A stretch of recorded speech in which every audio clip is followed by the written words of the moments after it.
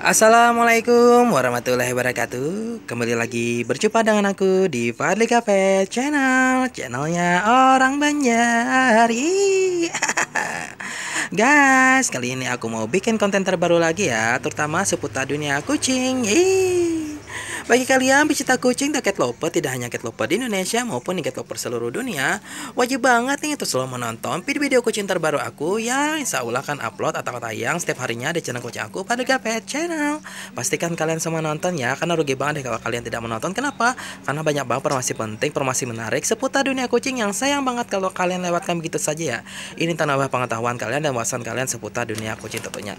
Apalagi nih kalau kalian di rumah banyak banget melihara kucing ya seperti aku kurang lebih 8 ekor kucing guys Karena beberapa lalu ya Mami Putih telah melahirkan dua ekor kitten-kitten yang sangat lucu, unik, menggemaskan Pokoknya beda dari kucing lainnya seluruh dunia Cuma kucing pada GP Cina saja guys. Dan bagi kalian penasaran terkait proses kelahiran dua ekor kitten tersebut ya Langsung saja deh kalian meluncur ke channelku pada GP Channel untuk menonton video kucing aku ya selengkapnya oke? okay?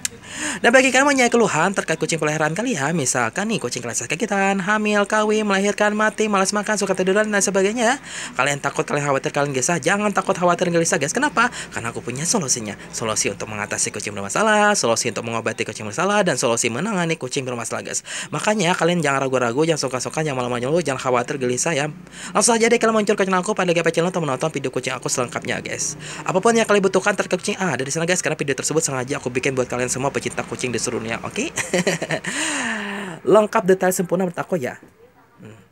Kalian boleh saja nanti nonton sepuas-puasnya di kos-kosan bagi kalian mahasiswa. Boleh juga bersama keluarga, teman, sahabat, pacar, tetangga, malu halus juga boleh guys. Malah aku senang video aku ditonton oleh banyak orang, oke? Okay? Dan bagi kalian yang belum subscribe ya please subscribe, comment, like, and share. Get please please lagi. Karena satu subscribe kalian sama membantu banget untuk perkembangan dan kemajuan channel Coach aku.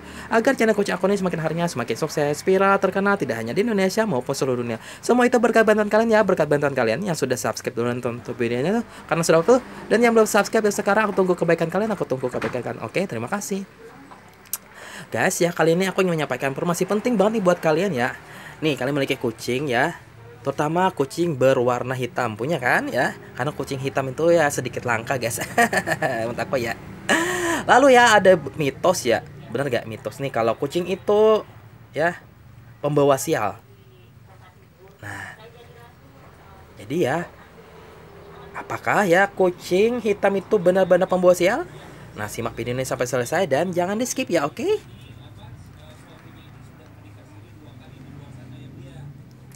Nah, kucing hitam ini biasanya dikaitkan dengan ya misteri gitu ya. Ya. Halloween, sihir, nasib buruk atau pembawa sial. Nah, anggapan ini muncul pada abad pertengahan loh guys ya. Nah, selain itu juga ada yang menganggap bahwa kucing hitam itu sebagai keberuntungan seperti yang terjadi di negara Skotlandia ya.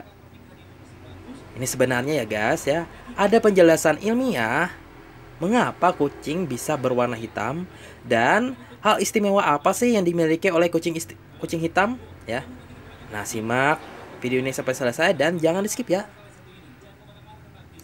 Yang pertama itu ya, harus memiliki gen hitam pekat ya.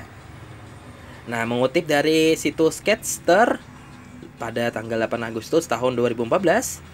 Nah, seekor kucing bisa menjadi berwarna hitam ya jika keduanya tersebut memiliki gen hitam atau alel ya yang dikenal sebagai B. Nah, gen tersebut dominan terhadap variasi gen lainnya loh yang dikenal sebagai B dan B yang menghasilkan warna coklat dan kayu manis. Nah, perlu diingat ya, pola bulu kucing yang paling dominan adalah tabby ya. Jadi ya guys ya, agar kucing menjadi hitam pekat, nah si kucing harus membawa gen resesif yang disebut non aguity atau A sehingga pola tabi tadi tidak muncul gitu ya. Yang kedua itu warnanya meningkat sistem kekebalan tubuh kucing tersebut ya. Nah, seperti yang dilansir dari situs The Spurs Pet pada 1 Mei tahun 2020 ya. Nah, para peneliti dari National Institute ya of Health menemukan bahwa Mutasi genetik yang menyebabkan kucing memiliki bulu hitam mungkin menawarkan perlindungan dari penyakit-penyakitnya ya guys.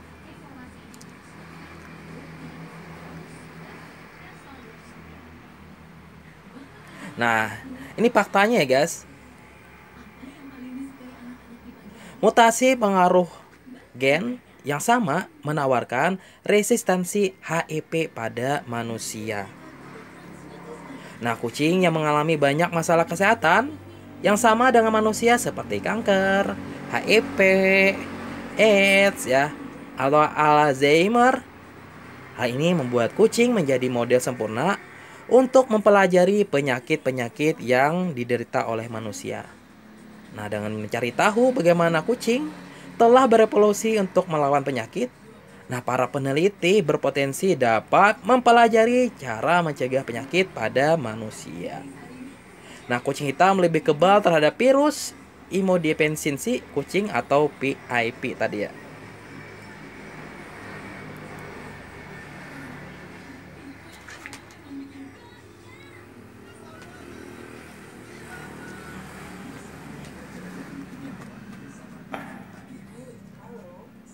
Nah, yang ketiga ya guys, ini ada yang dinamakan dengan bisa berubah warna seperti karat ya. Nah, situs The Process Pet menuliskan ya bahwa kucing hitam itu bisa berubah warna menjadi coklat seperti karat. Hal itu terjadi jika kucing hitam memiliki gen bergaris tabi dan senang menghabiskan hari-harinya dengan berjemur di bawah sinar matahari. Nah, sinar matahari dapat memecah pigmen di bulu kucing untuk mengungkap garis-garis tabi yang mendasarinya. Nah, selain itu juga ya guys, ya alasan lain kucing terlihat berkarat dalam kondisi pencahayaan normal adalah ya karena si kucing kekurangan enzim yang disebut dengan tirosin. Nah, tirosin ini diperlukan untuk pembuatan eomelanin pigmen yang membuat bulu kucing menjadi berwarna hitam. Jika kucing hitam kalian berwarna karat, bicarakan dengan dokter hewan tentang kemungkinan itu dan apakah aman untuk memberi kucing suplemen tirosin untuk mengetahui apakah si kucing menghitam lagi gitu ya. Yang terakhir ya guys, ini bisa berubah menjadi abu-abu loh. nah, masih dari situs Catster ya. Kucing hitam bisa menjadi abu-abu seiring bertambahnya usia kucing tersebut ya. Nah, seperti manusia juga ya, guys ya. Ya.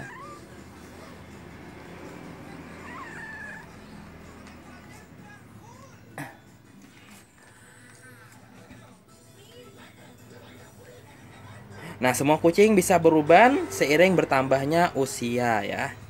Nah, tetapi ya, Bulu berwarna putih atau pudarnya warna bulu itu terlihat lebih jelas pada kucing yang berwarna hitam. Nah itu adalah fenomena alam dan tidak perlu dikhawatirkan ya guys ya. Nah beberapa kucing mulai berubah lebih awal daripada kucing lainnya. Tetapi sangat kecil kemungkinannya kucing akan benar-benar berwarna abu-abu. Nah guys, bagaimana informasi yang aku sampaikan? Semoga bermanfaat ya. Jangan lupa please subscribe, comment, like, and share ya guys. Terima kasih. Wassalamualaikum warahmatullahi wabarakatuh. Bye.